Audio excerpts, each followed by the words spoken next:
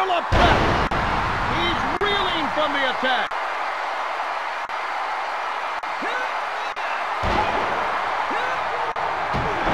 Spinning